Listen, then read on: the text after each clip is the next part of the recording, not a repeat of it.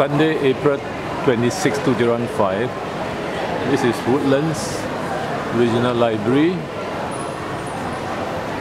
on a Sunday, afternoon 3 p.m.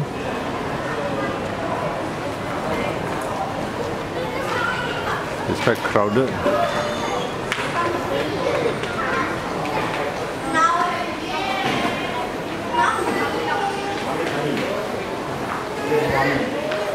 This is the first floor